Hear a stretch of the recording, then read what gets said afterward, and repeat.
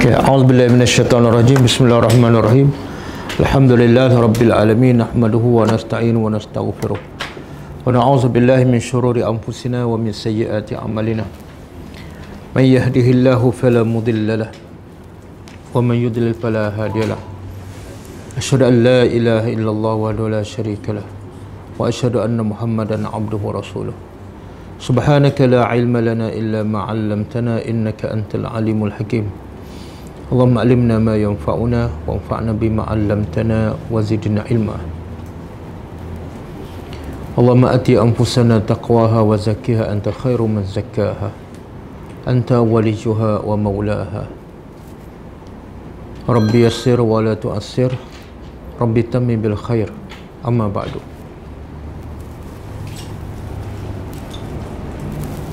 Ayat 197 kan?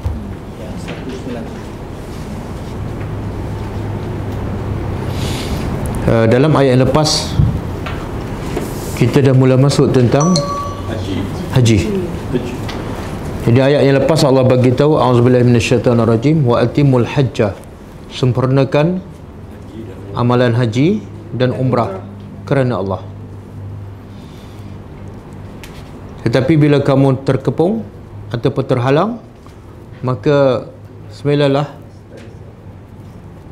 binatang sembilahan dan jangan kamu cukur rambut kamu. Hinggalah kamu sembelih. Kemudian bagi siapa yang sakit ataupun di kepalanya ada penyakit yang menyebabkannya terpaksa bercukur maka cukurlah. Tetapi selepas itu bayarlah fidyah. Fidyahnya sama ada puasa secara pilihan sama ada puasa tiga hari ataupun sedekah iaitu beri makan kepada enam orang miskin ataupun nusuk iaitu sembelih binatang sembelihan. Tapi kalau kamu tak memiliki semua tu uh, sorry apabila kamu dah rasa aman hilang dah kepungan ataupun halangan dan kamu nak masuk Mekah.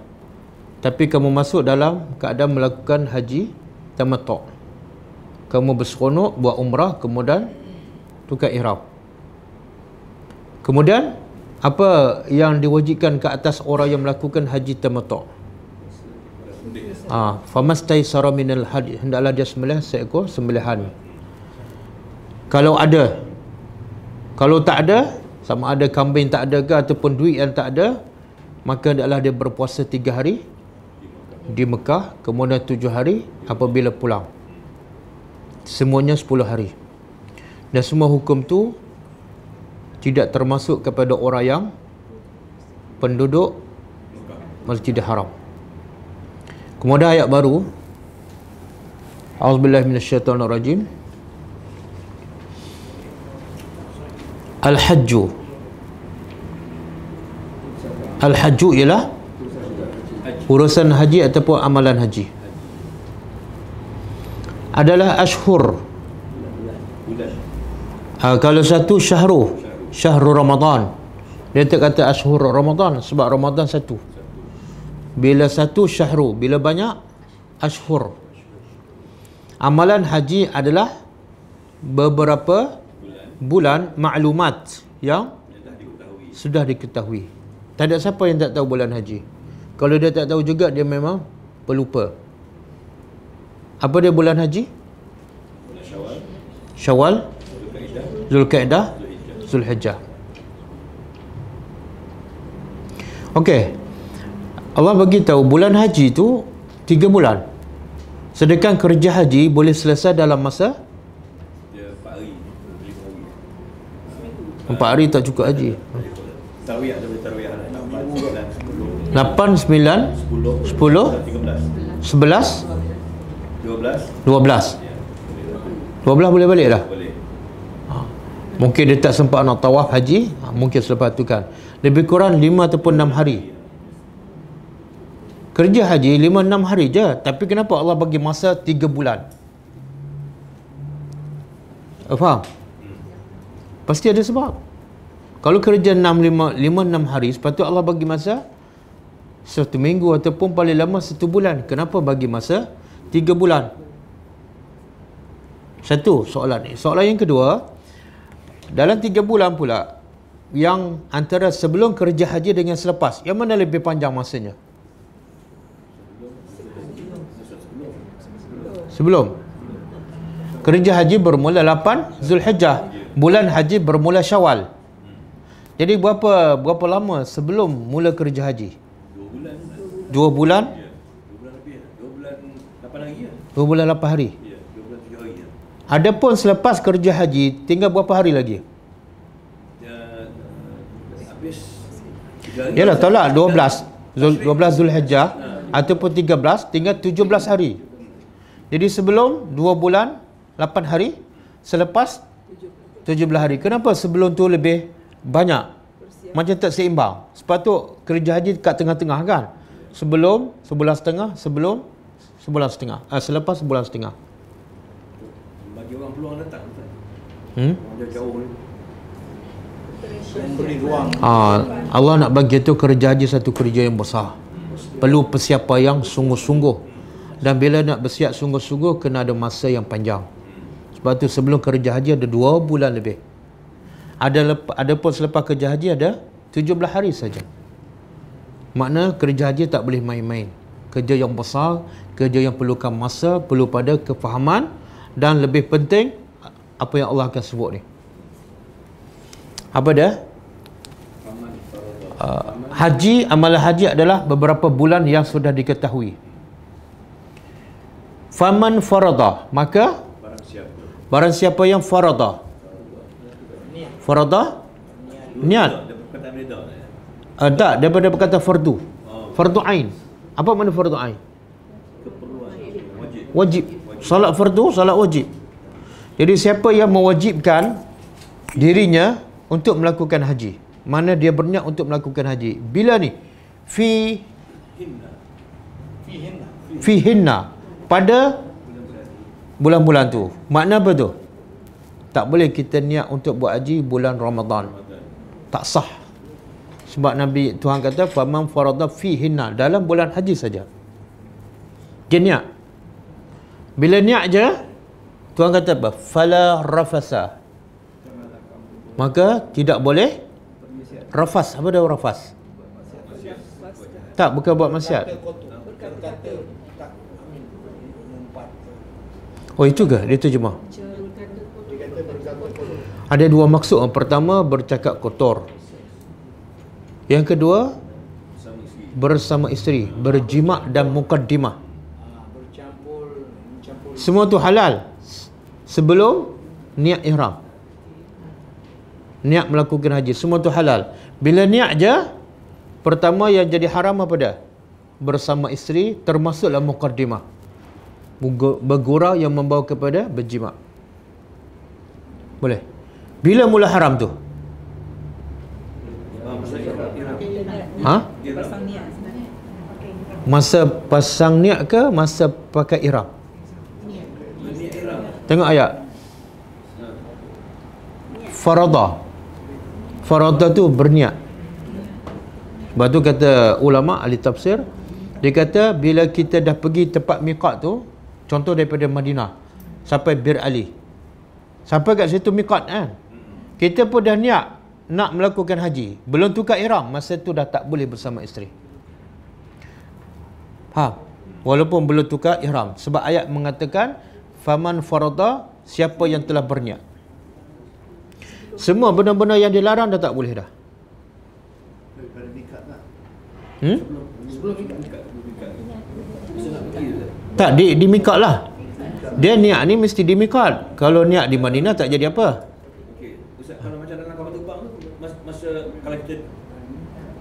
Sampai mikot kita pun niat. Belum tukar ihram. Ah masa tu tak boleh dah. Larangan-larangan. Pantang patah larang dah tak boleh dah. Walaupun belum tukar ihram. Walaupun belum. Ah, itu maksud. Faman farada fihinna. Nak.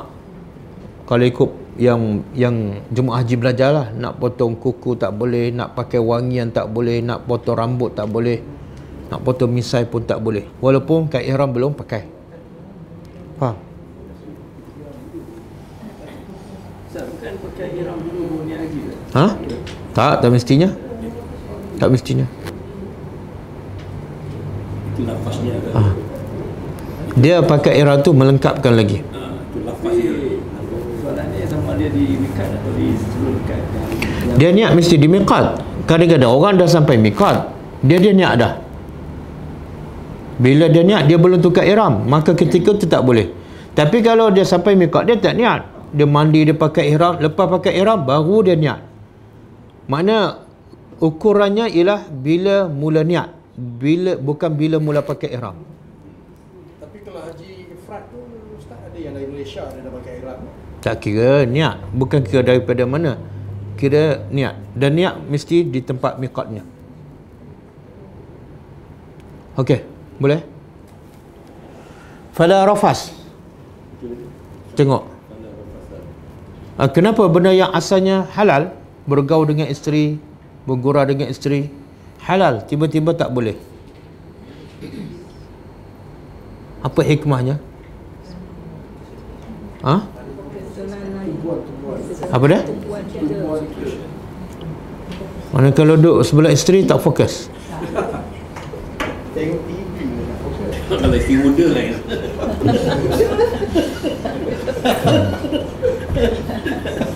Sama juga puasa kan. Puasa yang Allah haramkan yang asalnya halal, minum air halal. Kenapa Allah haramkan? Ha, sebenarnya itulah proses. Allah nak supaya kita dapat tinggal benda yang betul-betul haram. Bila-bila masa benda tu haram.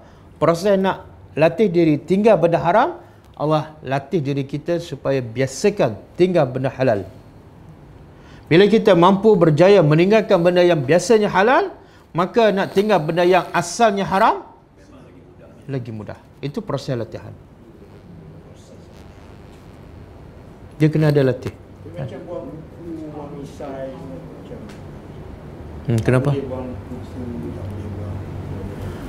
Ha, sebenar kita dah sebut minggu lepas sebenar itu tak ada dalil. Cuma ulama kias. Tuhan ayat Quran Tuhan kita jangan cukur rambut. Itu je larangan. Jangan cukur rambut. Potong kuku, potong misai, tak ada. Tak ada tak. Cabut rambut tak ada, yang ada cukur. Yang lain semua tu ulama kias. Apa alasan dia? Sebab dia kata bila kita potong kuku, kita apa, apa ni? Potong misai semua tu nak menunjukkan kita nak Sedangkan haji ni kita nak serah diri kepada Allah. Jangan fikir lagi pasal dunia pakai nak nak bercantik apa semua kan nak bermegah tak ada. Sebab tu kena pakai ihram. Ihram tu sebenar menunjukkan bahawa kita ni semua sama. Tak ada siapa yang lebih. Ustaz yang 10 hari sebelum hari raya haji tu itu ada dalil yang tak boleh cukur. Tak ini bagi orang yang buat haji ke orang nak buat korban? Orang yang rumah. Orang yang nak buat korban, ya ada dalil. Ada dalil. Siapa yang nak buat korban bukan di Mekah ha? dan dia tak buat haji pun. Maka afdal baginya mulai 1 Zulhijjah Sampai ke 9. sampai tak Sampai ke ah sampai sembelihannya di dikorbankan. Tak boleh potong kuku.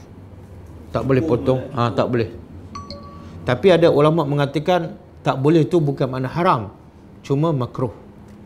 Ada kata haram, ada kata makruh. Boleh? Ya.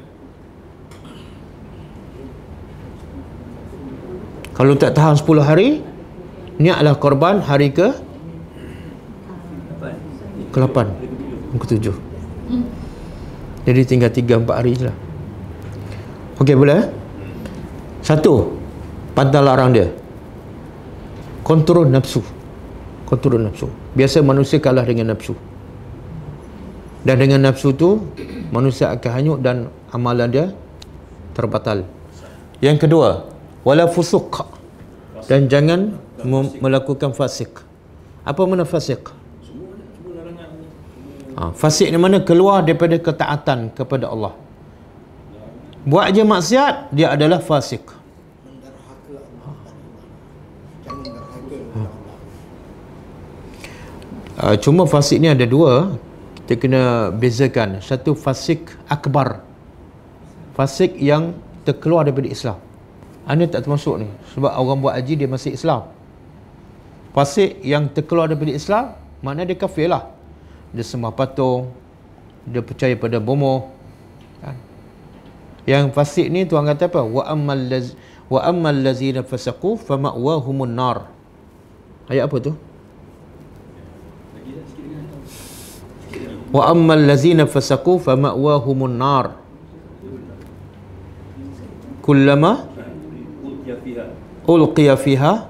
salah. Hazanatu ala adatikun nazir. Itu dah. tak kullama Ulqiya fiha. aradu an yakhruju minha u'idu fiha ulqiya tu surah al-mulk ini surah apa ni Kalau tak ada Quran. Surah sejadah. Surah sejadah. Ada pun orang-orang fasik fama'wahumun nar tempat kembalinya neraka jahanam ini fasik kafir. Fasik kafir. Macam mana kita nak tahu? Tengok apa ancaman Allah. Kalau ancaman Allah ma'wahumun nar itu fasik yang terkeluar daripada Islam. Fasik yang kedua fasik yang asghar. Fasik yang kecil. Dia masih Islam tak terkeluar daripada Islam ha, contoh tuan kata ya ayyuhallazina amanu in ja'akum fasikum binaba'in fatabayyanu. Wahai orang beriman jika datang kepada kamu fasik membawa berita. Fasik apa ni? Dia orang Islam. Tapi buat dosa kecil kadang-kadang dia minum arak dia masih Islam. Jadi kalau dapat berita daripada orang fasik ni cek dulu. Cek dulu. fatabayyanu. Boleh jadi maksud fasik di sini fasik kecil ke fasik yang besar? Kecil. yang kecil. Bila kamu dah berniat untuk melakukan haji pertama jangan bergaul dengan isteri jangan buat mukaddimah. Yang kedua jangan buat maksiat. Maksiat apa ni? Apa-apa maksiat? Mengumpat dengki pada orang mengata orang. Umum ah? Mungkin orang tanya ustaz kenapa ketika bila dah niat ihram tak boleh buat maksiat? Adakah sebelum niat boleh buat? Ha? Seolah ayat macam tu kan? Ya, ya. bila niat je tak boleh buat maksiat. Ihram, ha mafhum sebaliknya? Kenapa mengumpat saya belum niat lagi. Macam mana nak jawab? Hmm? kita sedang menjalani ibadah. Apa dia? Ibadat tu kita kena. Apa? Oh masa buat sebab buat haji. Mana kalau tak buat haji boleh buat lah maksiat. Jadi maknanya kita punya ibadat tu tak mabruh. Tak. Ustaz kalau ikut ayat ni, Batal memang lah. tak boleh. Dia dia Ha? satu peringatan. Kalau ikut ayat ni lah, memang tak boleh. Ini rukun. Buat benda yang fasik tak boleh. Maknanya memang tak boleh lah. Kalau kalau tak payahlah kata kalau belum niat tak boleh. Membuat peringatan. sebarang benda yang fasik tak boleh. Ini Tapi kenapa Allah kata bila dia berniat Dia langgar rukun haji kalau haji dia tak sah. Kalau dia Uh, kalau rukun kot. Rukun. eh tak sah ke? Kalau dia apa ni? Dia buat haji tapi dia membazir. Sah tak haji dia? Batal. sah, haji dia sah. Sah. Ya. Cuma kurang pahala lah. Dia tak ada mabrur. Ah, maksudnya kata ulama masa bila dia berniat tak boleh buat benda yang fasid, tak boleh buat apa maksiat. Sebelum tu memang tak boleh. Tapi bila dah niat lagi tak boleh. Sebab ketika dalam ihram ataupun dah berniat dia nak semakin dekat kepada Allah pun tak boleh buat maksiat. Sebelum tu lagi tak boleh. Sebelum tu tak boleh. Yang ni lagi tak boleh. Boleh. Sebab ada orang yang dia pakai huraian secara umum. Allah kata tak boleh bila? Bila niat. Sebelum tu boleh. Itu dia salah tafsir. Oh.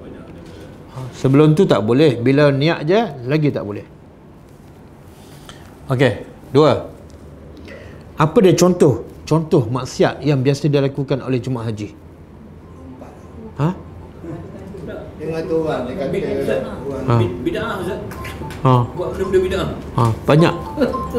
Bid'ah, mengumpat, membazir. Kan?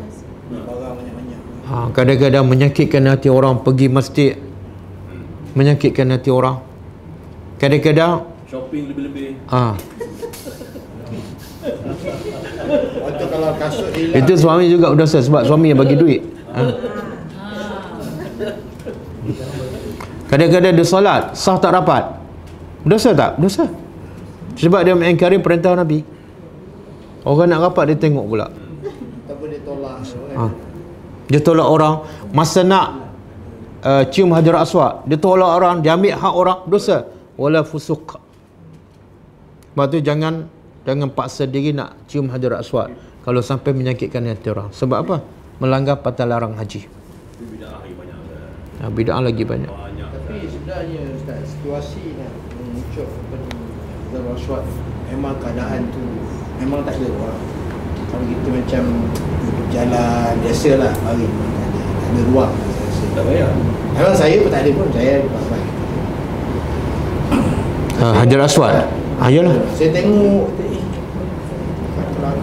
Kadang-kadang masa nak melontar jem, jemrah hmm. kan kita tolak orang berdosa menyakitkan hati orang sabar je lah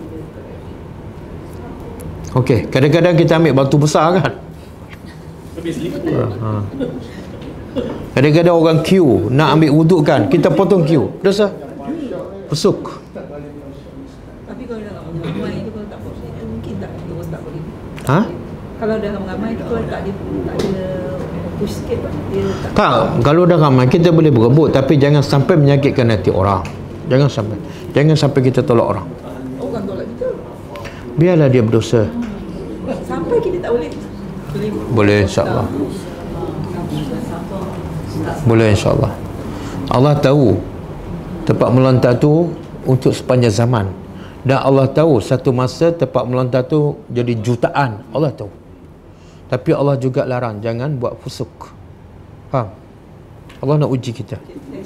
Ha, Nak test. Yang ketiga. Pantai larang yang ketiga Wala jidal Jangan berdebat, jangan bergaduh. Bergaduh, berdebat contoh tentang apa?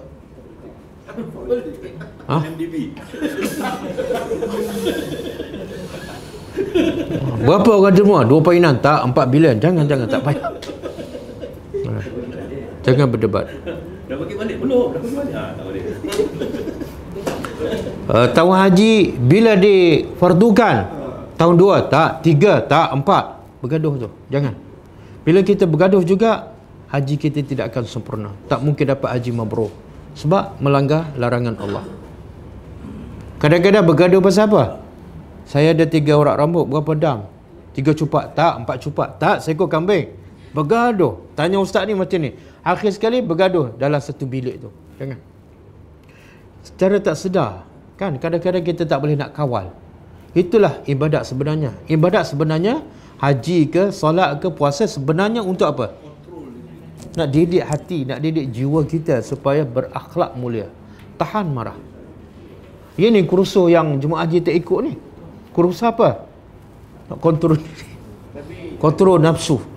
kontrol nafsu tu saya saya tengok satu Allah dia komplain pasal makanan Hmm. so bila tengok makanan dia tenang dia tiap-tiap kali macam tu. Akhirnya dia makan tu pakai tip. Akhir.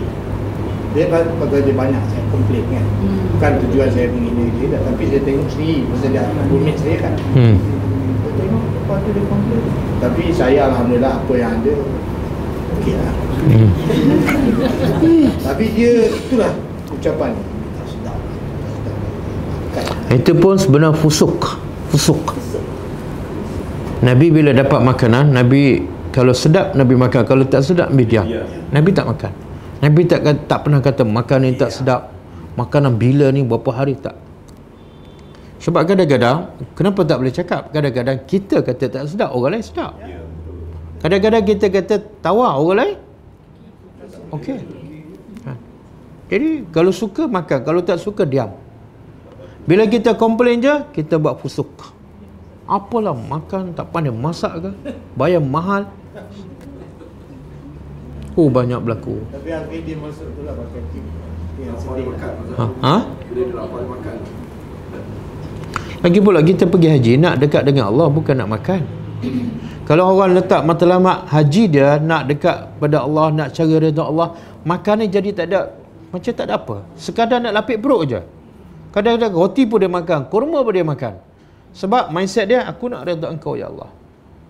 Tapi kalau fokus dia nak selesa, makanan tak sedap dia akan kritik. Hotel jauh dia akan kritik. Makanan lambat dia akan kritik. Habis. Dia tak akan dapat haji mabrur. Ha, ini kerusuh yang perlu ditekankan kepada jemaah haji. Bukan pasal cara melontar, cara nak tawar, cara nak cium hajar aswad. Dendanya berapa, itu sampai berbulan-bulan. Tapi balik akhlak tak berubah. Kan? Orang tak panggil haji melenting. Eh, you tak tahu awak, saya dah dua kali pergi haji. Tolonglah. Ha?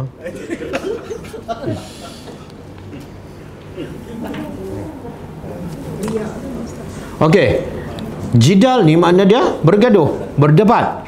Adakah berdebat ni tak boleh langsung? Hmm? Adakah tak boleh langsung? Boleh. Kalau berdebat untuk pertahankan kebenaran, orang buat benda bid'ah, kita nak bagi tahu itu salah dan kita ada dalil. Ha, ketika itu boleh berdebat. Selagi mana tak menimbulkan ketegangan. Apa dalil? Tuhan kata wajadilhum billati hiya ahsan. Wajadilhum. Cuba buka surah ni. Surah An-Nahl ayat 125.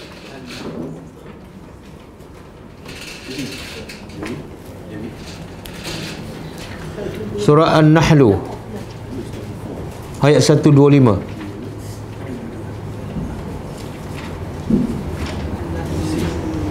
Surah 16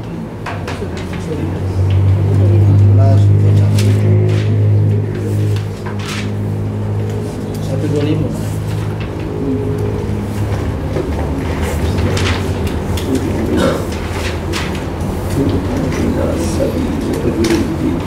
Ud'u ila sabili rabbika bil hikmah. Muka surat 281. Muka surat 281.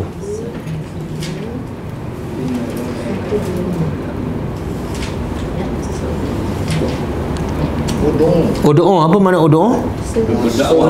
Berdakwalah ataupun sampaikan Ajaklah. ajaklah kepada jalan Tuhan engkau iaitu kepada agama Allah. Dengan cara apa? Bil hikmah. Apa makna hikmah? Kebijaksanaan.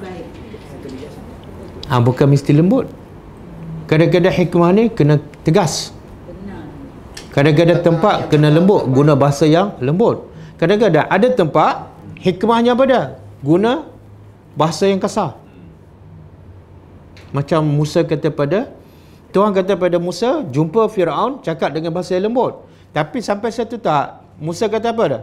Aku sangka engkau ni memang bengong lah. Ha, ada? Bila sampai satu tahap, hikmahnya kena guna bahasa yang keras. Itu mana hikmah. Bukan lembut je. Faham tak? Ha, contoh Nabi selesaikan masalah tiga orang sahabat yang tak hadir dalam peperangan. Caranya apa dia? Boykot. Boykot tu lembut ke tegas? Tegas. Sampai 50 hari. Itu makna hikmah. Sama lah kita dengan anak. Kita kata saya didik anak dengan hikmah. Apa dah? Semua dia nak saya bagi. Dan saya cakap semua bahasa okey-okey je. Tak, salah. Itu bukan hikmah itu. Itu manja. Boleh ke? Ada sampai satu tahap, Nabi kata apa? Sampai umur 10 tahun, rotan. Rotan tu hikmah. Kenapa? Ah, dalam keadaan tu kalau tak rotan, dia tak akan berkesan. Maka hikmahnya apa dia? Kena rotan. Okey. Kemudian Tuhan kata apa? Tak dalam surah ni. Wal mau'izatil hasanah dan dengan peringatan yang baik. Peringatan tapi semuanya yang baik-baik. Wajadilhum. Ah jadil daripada jidal. Dan ah, dan debatlah. Debatlah mereka billati hiya ahsan dengan cara yang terbaik. Faham? Jadi bukan makna tak boleh langsung berdebat. Kalau kita nak pertahankan kebenaran ketika itu boleh. Selagi mana tak menimbulkan masalah lebih besar. Yang Tuhan kata tak boleh ni apa dia? Berdebat benda yang tak ada faedah. Bila haji diwajibkan, berapa rukun haji? Kan? Uh, Nabi pergi dengan sahabat, dengan sahabat yang mana? Akhir sekali sampai bergaduh. Okey, kita balik pada ayat ni.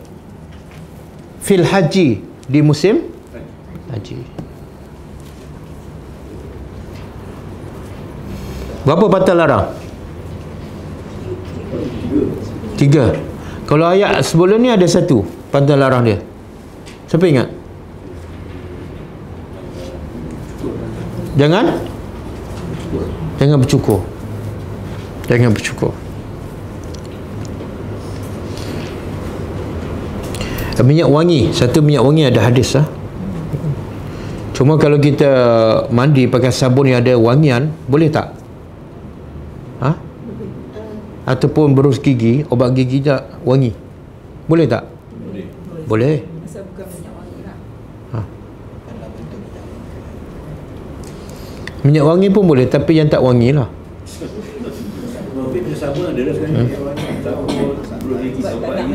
gairah. ha? Tak nak menimbulkan gairah. tak nak menimbulkan gai- gairah Sebab sebab bukan apa tak boleh wangi-wangi. Tak yang tak boleh pakai minyak wangi ni perempuan sahaja ke lelaki sekali? Yang menimbulkan gairah ni bila perempuan yang pakai lelaki pakai tak ada masalah perempuan. Kalau lelaki pakai minyak wangi sebotol perempuan ada gairah ke? Ada. Kalau sebotol muntah. yang perempuan ada gairah pada lelaki bila ada lelaki pakai mas bukan pakai minyak wangi. Tapi lelaki dengan perempuan tak perlu pakai mas pakai minyak wangi dah menimbulkan gairah sebab tu Tuhan larang wanita pakai wangian. Hukumnya haram. Bahkan Nabi kata seperti dia penzina. Jangan pakai. Tak tak. Bila-bila masa.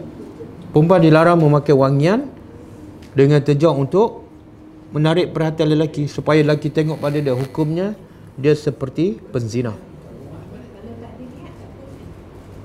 tak ada niat pakai buat apa mana ada saja-saja. Eh Allah bukan nak tengok wangi kita dalam solat. Allah nak tengok hati kita wangi ke tak. Ini badan wangi hati. Pakai minyak wangi dalam solat tapi solat asar pukul 6.30.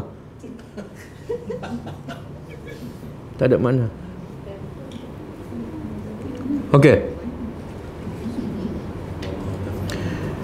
Kemudian Tuhan kata, sekarang Tuhan larang. Yang tiga ni larangan kan? Jangan bersama isteri, jangan buat maksiat dan jangan berdebat, bertengkar. Itu larangan. Sekarang Tuhan nak pula kita buat benda yang baik. Apa dia? Wa ma taf'alu apa saja yang taf'alu kamu lakukan min khair Dari yang baik-baik. daripada ah, bila khair dalam perkataan Arab dia tanpa alif lam tanwin bila tanwin menunjukkan umum apa saja kebaikan yang kamu lakukan ya'lamhu Allah tahu apa yang Allah nak bagi tahu ni buat benda baik. hmm. Buat je lah benda baik. Buat benda baik. Bagi sedekah ke apa kan. satu tak payah tak perlu bagi tahu orang sebab kita nak Allah yang terima bukan orang. Dan Allah tahu walaupun orang lain tak tahu. Jadi pertama jangan bagi tahu sesiapa. Kan? Oh saya semalam pergi tempat melontar saya jumpa seorang buta tu saya pimpin dia. Sampai dia boleh oh tak payah bagi tahu. Allah dah tahu. Kan? Bila dia bagi tahu riak sia-sia. Sia-sia satu. Yang kedua Allah nak galakkan kita buatlah apa saja kebaikan kamu tak rugi. Tak sia-sia pun. Sebab apa? Allah? Allah tahu. Dan Allah tahu bukan macam kita tahu. Kalau kita tahu orang tu buat baik apa kita boleh bagi pada dia? Setakat puji lah kita boleh bagi duit tak? Tapi kalau Allah tahu kita buat baik apa Allah akan bagi pada kita? Allah akan balas Jadi ya'lamhu Allah, Allah tahu dan Allah akan balas. Jadi yang kedua Allah nak mendorongkan bila kamu pergi buat haji khususnya buatlah kebaikan bila-bila masa di mana sahaja jangan berkira. Jangan berkira. Kadang-kadang jumpa orang nampak orang nak melintas jalan bahasa bangsa Afrika kan pimpin dia. Kadang-kadang bangsa Afrika duk makan uh, dalam kedai tolong bayar.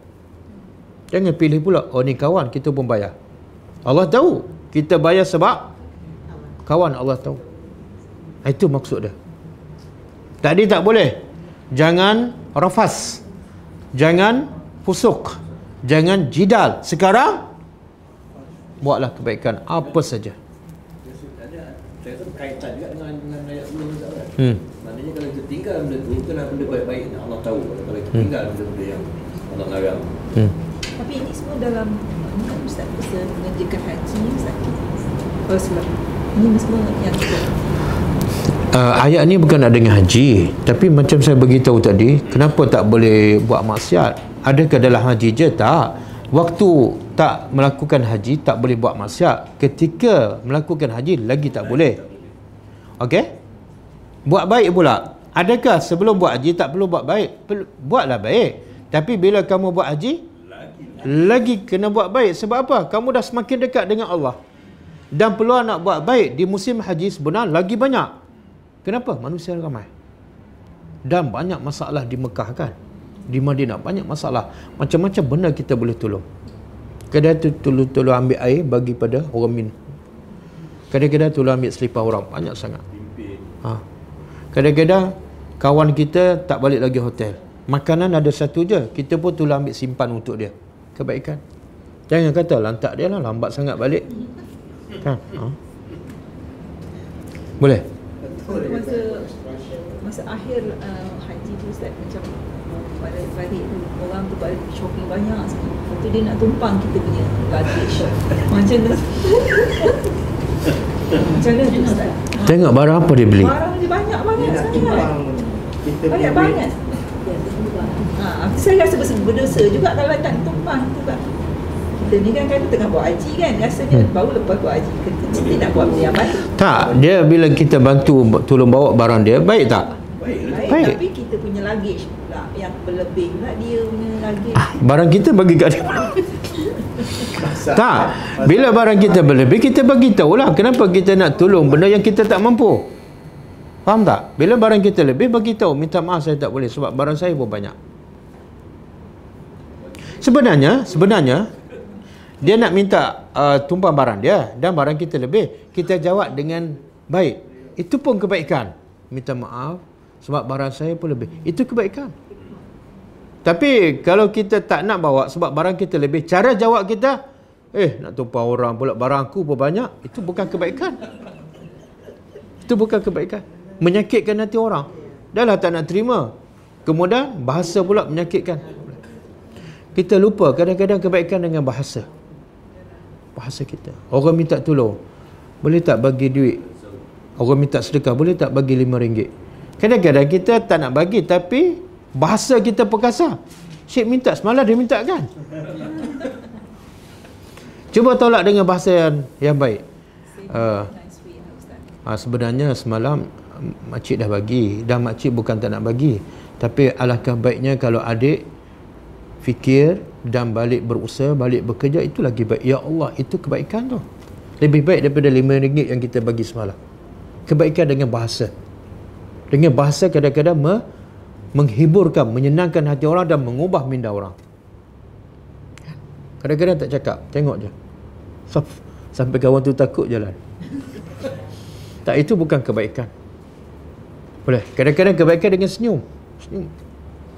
Orang datang, terima kasih senyum. Dapat pahala, dia pun jalan. Boleh. Allah tahu, Allah tahu.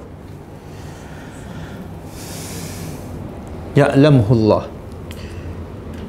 Uh, dan juga dalam ayat ni saya dah bagi tahu dua pengajaran. Apa maksud? Apa saja kebaikan yang kamu lakukan, Allah tahu. Pengajaran pertama tadi Jangan bagi tahu orang Sebab kita buat supaya Allah terima Bila supaya Allah terima Tak perlu orang tahu Yang kedua, Allah nak menggalakkan kita buat sebanyak mungkin kebaikan. Sebab apa? Tak sia-sia. Walaupun kecil, Allah tahu dan Allah akan balas. Walaupun sebesar, sarah. Yang ketiga, dalam ayat ni, Allah nak bagi amaran. Bila buat kebaikan, betulkan niat. Betulkan niat. Sebab Allah tahu niat hati kamu. Kadang-kadang kita tolong sebab apa? Dia datuk. Kan? Kadang-kadang kita belanja mi- mi- makan minum sebab apa? Sebab dia datuk. Allah tahu. Tiba-tiba orang miskin minta kita tak layan. Allah tahu. Jadi Allah nak bagi amaran. Betulkan niat kamu. Pergi haji pun betulkan niat. Ha, pergi haji dok hotel dekat cerita satu kampung. Kan? Allah tahu. Boleh? Pergi haji sebelum pergi buat kenduri. Heboh satu kampung. Kan? Lepas tu orang tanya pula dok hotel mana? Dia cerita lagi. Tak payah. Jangan. Sebaik-baik jangan buat makan apa-apa. Boleh kah? Tapi buat tahlil doa selamat tu Ustaz. Kenapa nak buat tahlil? Doa selamat. Tak, apa mana tahlil? Tak maksud saya buat doa selamat lah. Minta selamat. Doa selamat untuk apa? Supaya perjalanan kita selamat. Tak, kita akan selamat bukan dengan tahlil. Kita akan selamat bukan dengan doa. Kita akan selamat dengan ihfazillah yahfazka. Jagalah perintah Allah, Allah jaga kamu. Ha. Ha, tu kena betulkan. Nabi dah sebut, kalau kamu jaga semua perintah Allah, Allah jaga kamu. Dan bila Allah jaga, selamat tak? Selamat. Nabi tak kata, bacalah doa selamat, Allah jaga kamu. Uh, Nabi Yunus duduk dalam perut ikan. Selamat tak? Dia baca tak doa selamat sebelum masuk perut ikan? Tak. Masa tu masjid kecil. Tapi Ustaz kalau kita nak begitu perlu tak kita minta maaf pada Tak, bila kita buat dosa kepada orang wajib kita minta maaf bila-bila masa bukan kerana nak pergi haji. Tapi orang banyak masa nak pergi haji tu yang nak minta. Orang banyak bukan ikutan kita. Ikutan kita ialah Rasulullah. Ikutan kita ialah Quran. Bila buat salah dengan orang, segera minta maaf dengan dia. Jangan tunggu nak pergi haji. Jangan. Itu adab orang kita kan. Kalau nasib tak baik, sebelum pergi haji dia mati. Tak sempat minta maaf. Kan nanya. Boleh? Okey? Wa tazawwadu dan Bekal. ha tazawwadu dan berbekalah oleh kamu. Ha, ini perintah ha? Kalau kita belajar bahasa Arab ini fi'il amar. Fi'il amar menunjukkan perintah. Perintah menunjukkan wajib. Apa yang wajib ni? Berbekal. Berbekal apa? Ha? Bekal ada dua. Satu bekalan berbentuk fizikal. Pakaian, makanan. Kalau ada penyakit keciman ni bawa obat keciman ni. Itu bekalan dari segi fizikal. Tapi Allah kata apa? Fa inna khairaz zadi. Sesungguhnya sebaik-baik bekalan yang kedua apa dah? Zadut taqwa. Bekalan takwa. Ha yang ramai Jumaat haji, kebanyakan Jumaat haji lupa. Yang dia tak lupa bekalan fizikal. Bawa duit cukup, bawa pasport, bawa buku tabu haji, sambal daging kan. Bawa Maggi apa semua kan. Sebelum pergi dah tanya siap ada tak restoran Mel- Melayu kat sana. Cukup lengkap bekalan fizikal. Tapi takwa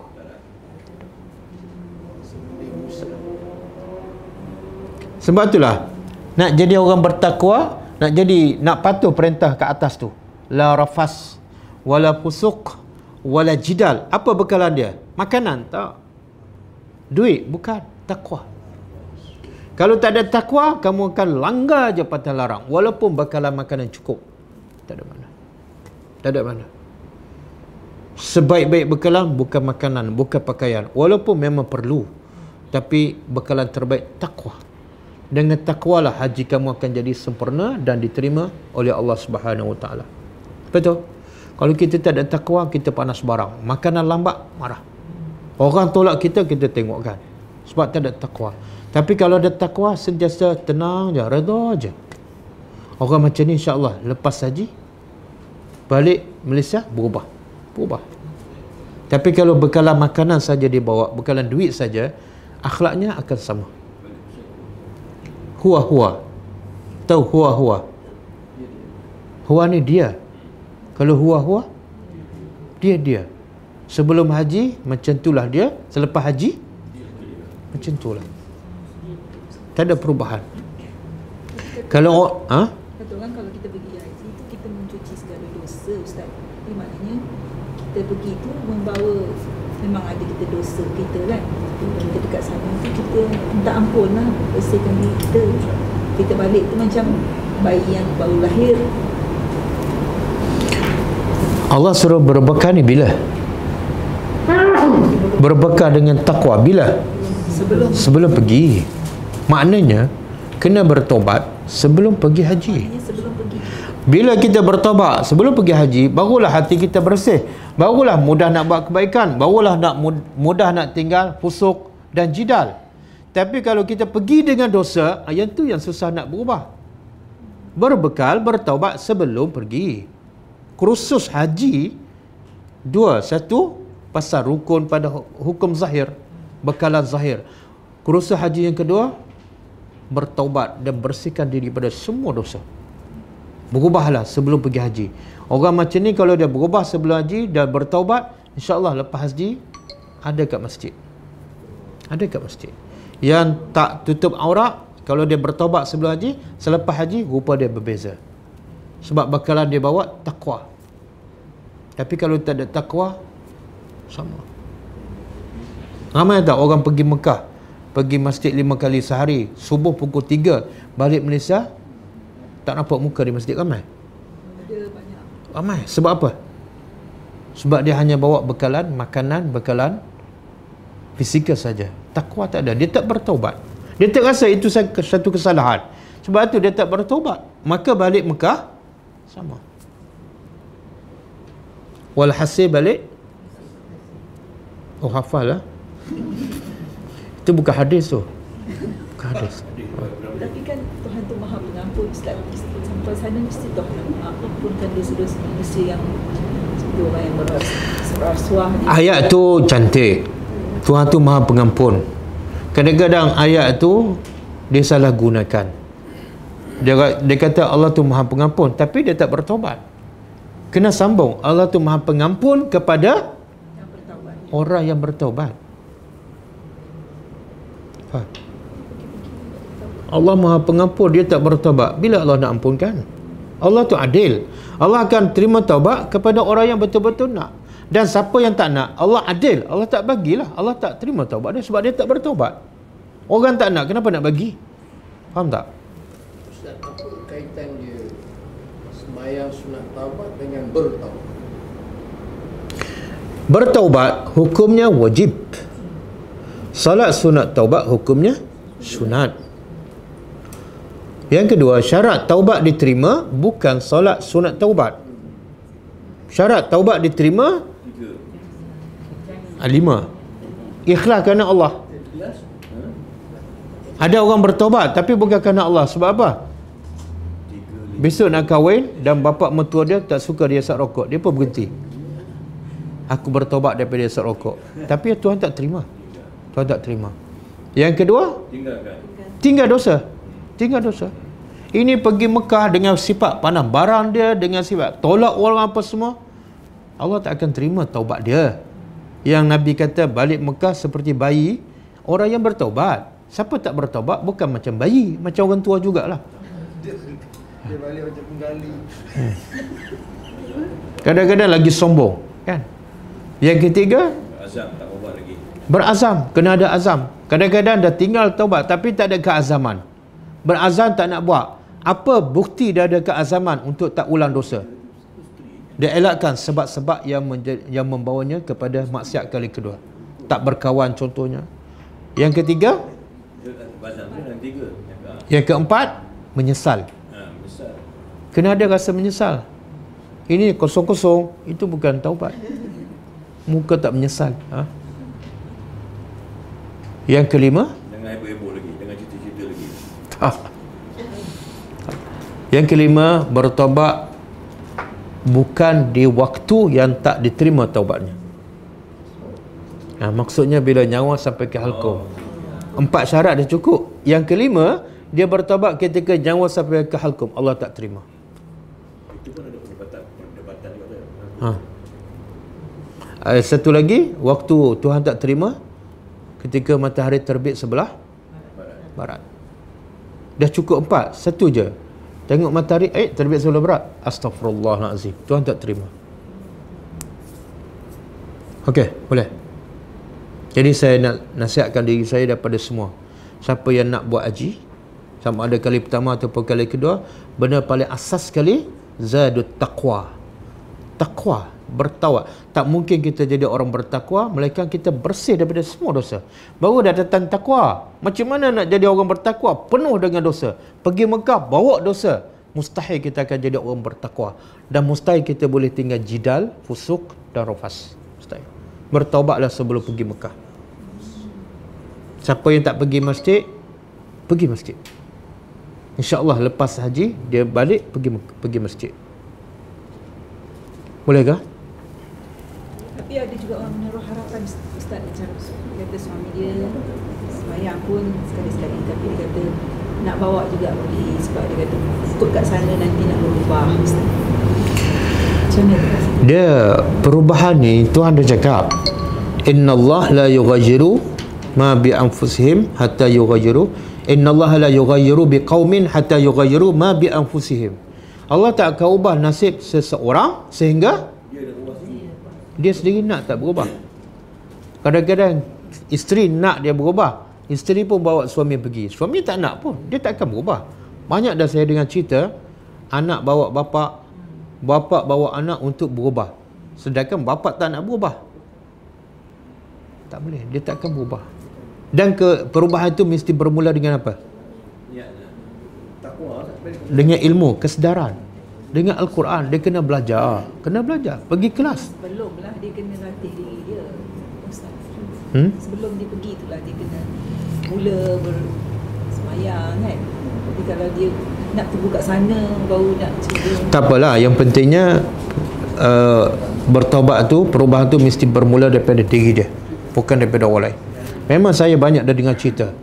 Ada bapa yang tak solat. Dia bawa bapa dia, ada student saya. Pergi sana solat lah, terpaksa solat. Ada ada ketika dia tak solat juga. Balik sama je. Sama je. Boleh. Kita boleh usaha. Tapi akhirnya terserah pada orang tu sendiri. Okey. Wa tazawwadu fa inna khayra zadi taqwa. Sebaik-baik bekalan ialah taqwa. Wattaquni ya ulil albab. Takutlah padaku wahai orang-orang yang berakal. Allah tadi Allah kata apa? Sebaik-baik bekalan takwa. Allah beritahu sekarang Allah perintah pula. Takutlah pada aku, bertakwalah pada aku. Tapi perintah Allah bukan pada semua orang. Hanya khusus kepada ulul albab. Apa pengajaran di situ? Bila Allah perintah takwa pada aku, wahai orang berakal. Apa hikmahnya? Apa pengajarannya? Satu, orang ber, orang yang berakal waras semua bertakwa. Semua yang berakal waras pasti bertakwa. Yang kedua, siapa yang tak bertakwa pasti dia bodoh ataupun tak berakal. Kenapa yang berakal dia mesti bertakwa ataupun yang bertakwa mesti berakal? Sebab berakal ni apa maksud dia? Ada Dia ada dia ada ilmu pun dia kena belajar, dia kena berfikir. Orang yang sentiasa berfikir apa faedah dia taat pada Allah, akhirnya dia akan bertakwa. Aku kalau solat ni apa dapat? Dia fikir. Tuhan kata dapat ketenangan. Kemudian perintah tu daripada pencipta. Tentu dia tahu apa yang terbaik. Dia fikir-fikir, dia pun solat. Ha, sebab fikir membawanya kepada takwa. Tapi kalau dia tak berfikir, malaslah. Kenapa tak nak solat? Tah, malaslah. Cuba fikir, malaslah fikir. Dia tak mungkin jadi orang bertakwa. punca dia ilmu Ustaz. Ha, betul. Oh, fikir Hudan. profesor-profesor macam-macam dia fikir Ustaz. Dia fikir kita jadi daripada monyet, dia Hmm. macam-macam dia jadi. Ilmu Ustaz. Pada saya punca Hmm. dia ilmu. Yalah, Tuhan kata zalikal kitabu la raiba fi hudan, hudan. Hudan tu petunjuk mana ilmu lah dan ilmu tu daripada Alkitab Al-Quran. Boleh. Percayalah. Anak-anak kita malas solat, malah berzikir, malah baca Quran sebab dia tak berfikir. Kenapa kalau dia fikir sikit, kenapa kena baca Quran? Apa kebaikan dia fikir-fikir dia akan jumpa dia akan baca. Tapi dia berfikir pun malas. Faham? Kita pun sama masa muda-muda malah berfikir. Sebab tu masa tua dah bila berfikir okey sikit. Betul? Dan juga wattaqun ya ulil albab juga Allah nak bagi isyarat apa dia? Semakin manusia berfikir, semakin iman dia meningkat. Dan semakin manusia tak berfikir, semakin iman dia merudum. Faham tak? Jadi iman takwa bergantung pada setakat mana kita berfikir. Berfikir tentang apa ni? Tentang kehidupan, tentang ketuhanan, tentang hari akhirat. Bukan berfikir pasal makan. Setiap hari fikir pasal makan, tak jadi orang bertakwa. Kan? Habis masa 4-5 jam kat dapur. Sebab apa? Fikir banyak sangat. Okey.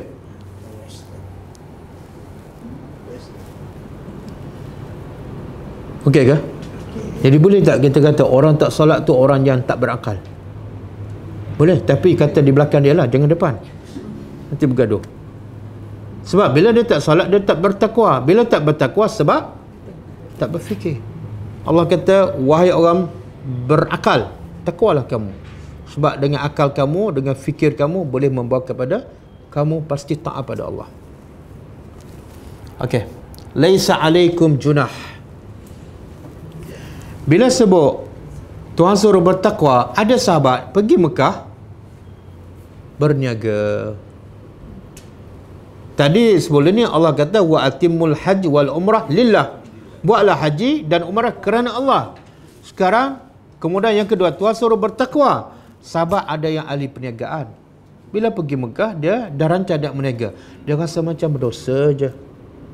Lalu Allah turun ayat laisa alaikum tidak ada ke atas kamu junah junah dosa apa dia anta bertaru bahawa kamu mencari fadlan kebaikan anugerah mir rabbikum daripada Tuhan kamu. Ha, boleh kamu pergi haji betul-betul kerana Allah tapi sambil tu ada peluang berniaga. Kamu jual barang jual kerupuk jual budu kan? Bagi sewa kereta boleh Islam terbuka tak? Islam terbuka. Jangan kata Islam ni rigid kan tak pentingkan dunia tak. Dalam haji pun Allah benarkan berniaga. Kemudian tapi Allah sebut yang kamu cari apa dia? Fadlan min rabbikum. Sebenarnya Allah nak ingatkan kelebihan ni adalah dari daripada Tuhan kamu. Maknanya bila kamu berniaga dan kamu kaya jangan jangan sombong. Sebab ni semua dari Tengok ayat tu menyedarkan orang yang berniaga bila dia senang. Jangan sekali-kali sombong. Sebab ni fadlam mir rabbikum. Bukan kerana kamu cerdik, bukan kerana kamu pandai berniaga. Tak. Sebab aku nak bagi. Jangan sombong. Hmm? Faiza afattum min arafat. Dan apabila kamu bertolak min Arafat daripada Arafah. Arafah tahu? Wukuf di Arafah. Uh, tempat dia tahu kan? Okey, apa makna Arafah? Tak Arafah daripada perkataan Arafah. Makrifah, makrifah tu daripada Arafah. Makna dia tahu. Tahu. Hal ta'rif? Ta'rifuna. Jadi Arafah daripada asal perkataan Arafah, tahu. Apa kaitan tempat tu dengan makna tahu? Okey, pendapat pertama, di situ bila manusia berkumpul di pada Arafah, biasanya semua manusia mengaku dosanya. Mengaku dalam bahasa dia panggil iktiraf. Iktiraf tu mana daripada Arafah. Tahu, sedar, mengaku. Maka tempat itu dinamakan Arafah. Sebab semua manusia datang ke situ, tahu dan mengaku dengan dosa-dosanya dan dia bertobat pada Allah. Itu satu. Yang kedua, ah intirah daripada Arafah. Saya intirah mana dia tahulah dosa dia.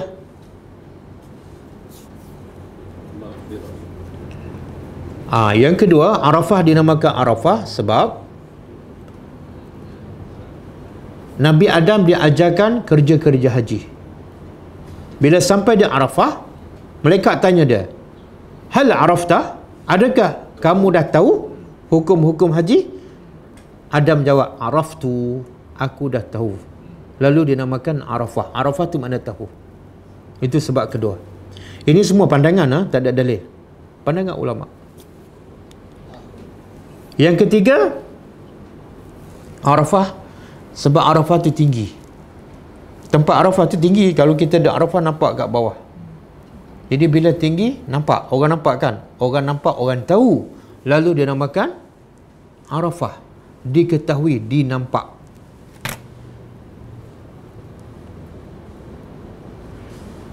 Sebab tempat tu tinggi dan bila tinggi nampak. Bila nampak makna dia diketahui. Lalu dinamakan Arafah. Sebab keempat bila Nabi Adam dan Hawa dikeluarkan daripada surga kemudian jatuh ke bumi kemudian katanya seorang ke Bangladesh seorang ke mana lagi akhirnya berjumpa. Berjumpa di Arafah. Jadi Arafah tu tahu dan kenal Adam dan Hawa akhirnya berjumpa di Arafah. Tapi ada dalil tak? tak ada dalil. Yang tak ada dalil tu orang Melayu percaya. Lepas tu bila pergi ke Arafah dia naik jabal ha, sebab apa? untuk apa? minta jodoh. Itu masa isteri dia tak pergilah. Tak tak tak ada hadis pun. Doa di Arafah ataupun di Jabal Rahmah doa mustajab tak ada. Yang ada kat Mekah apa dia? Dekat Multazam. Antara pintu Kaabah dengan Hajarul Aswad. Itu mustajab. Dan tak sunnah pun. Bukan sunnah Nabi panjat Jabal Rahmah. Bukan sunnah Nabi. Nabi tak pernah panjat Jabal Rahmah. Kita pula lebih pada Nabi. Okey. Bolehkah?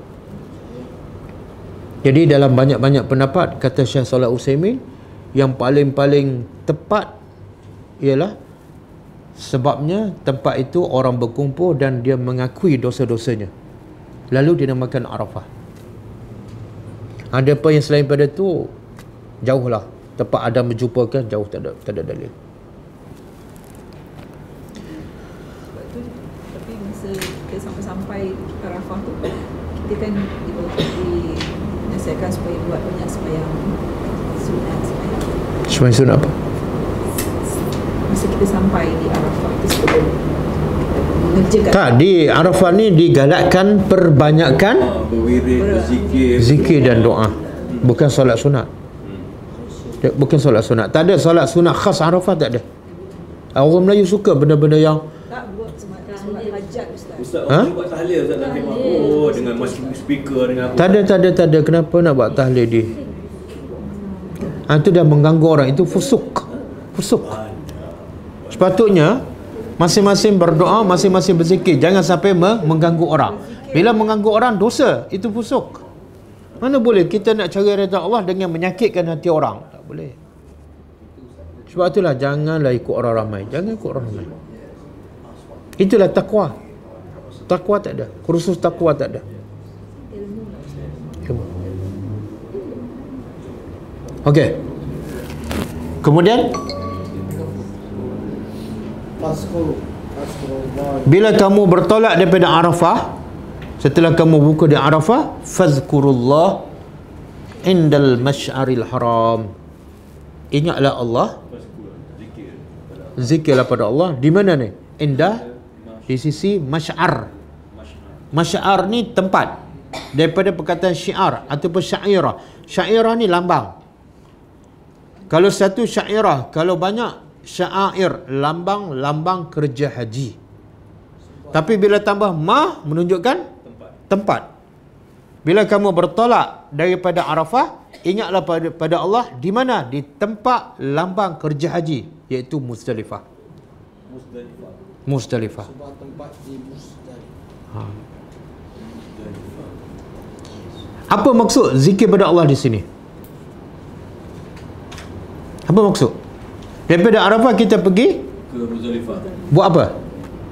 Kita bermalam, bermalam sambil ah, Tak ibadat yang paling utama.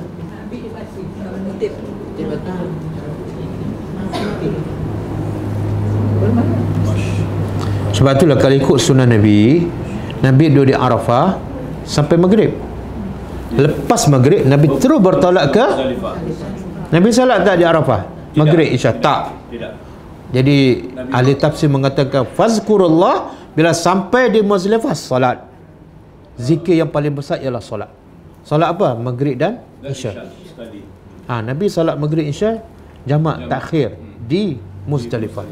Itu makna zikrullah. Satu lagi salat subuh. Sebab Nabi duduk di Muzdalifah sampai subuh. Lepas subuh barulah Nabi bertolak ke Ke Mina. Mina. Tapi Jumaat Jumaat Malaysia tak? Jumaat Malaysia dia salat Maghrib Isya di mana? Malaysia di Arafah. Di Arafah. Di Arafah. Kemudian tengah malam pukul 12 ke ha, barulah dia bertolak ke Muzdalifah. Tak apalah mungkin sebab orang-orang ramai sangat kan ha. Sesak sampai jalan. Boleh. Jadi di sini zikir makna dia solat. Dan zikir ni ada zikir hati. Ada zikir lisan, lidah. Ada zikir anggota badan. Jadi dalam banyak-banyak zikir ni, uh, zikir lidah, yang mana solat ke, puasa ke, yang mana paling besar? Zikir yang paling besar dan paling utama? Solat. Kenapa? Dalam solat ada ketiga-tiga zikir. Zikir hati ada, kita membesarkan Allah. Yang kedua, zikir lidah ada tak? Subhana Rabbil Azim, Subhana Rabbil Ala. Yang ketiga, zikir anggota badan ada. Angkat takbir, rukuk, sujud. Zikir yang paling besar ialah solat. Dan Allah sebut dalam surah Al-Ankabut, wala zikrullahi akbar. Solat tu adalah zikir Allah yang akbar, yang paling besar. Boleh? Kenapa masyar ni dinamakan haram? Indal masyaril haram. Masuk balik ke Tanah Arab. Ha, masyar ni lambang tempat kerja haji ada dua. Satu masyar halal. Yang kedua masyar haram. Masyar halal Arafah. Allah nak kita gabungkan. Bila nak buat haji, gabungkan. Kamu datang daripada tempat halal dan juga gabungkan dengan tempat yang haram. Orang orang Mekah tak. Orang Mekah zaman jahilah. Dia buat haji juga. Tapi dia wukuf di mana? Di Muzdalifah. Sebab apa dia wukuf di Muzdalifah? Sebab dia kata kami orang mulia. Kami orang daripada tanah haram. Jadi kenapa kami nak keluar ke tanah halal? Tengok Allah nak uji manusia. Benda mudah je. Jalan sikit. Dapatlah wukuf. Tapi sebab degil, sebab sombong, sebab jahil, dia tak ikut perintah Allah. Boleh? Jadi Allah nak uji orang Islam, kalau wukuf keluar tanah halal. Ha. Kemudian wazkuruhu dan ha, kita berhenti setakat tu. Masa dah cukup. Boleh ya? Kita sambung ayat ni akan datang insya-Allah. Ustaz, satu lagi soalan tentang solat Ustaz. Masuk masjid. Saya nak kepastian je sebab masuk masjid kita kalau dah masuk waktu kita nak gabungkan tahiyatul masjid dengan uh, contohnya asar kita boleh Ustaz. Tak macam ni. Bila kita masuk masjid belum belum azan, kita niat tahiyatul masjid lah. Dan kalau kita tak niat pun dia akan jadi tahiyatul masjid lah. Okey? Itu kalau masuk sebelum azan. Tapi bila masuk selepas azan, kita niat solat sebelum fardu. Dan automatik dia juga solat tahiyatul masjid. Tak payah kita niat gabung. Saja aku gabungkan solat tahiyatul masjid dengan solat qabliyah, tak payah. Automatik je. Two in one. Ha. Okey, cukup ah. Kita tutup dengan baca tasbih kafarah. Subhanakallahumma wa bihamdika la ilaha illa anta astaghfiruka wa atubu ilaik. Assalamualaikum warahmatullahi wabarakatuh.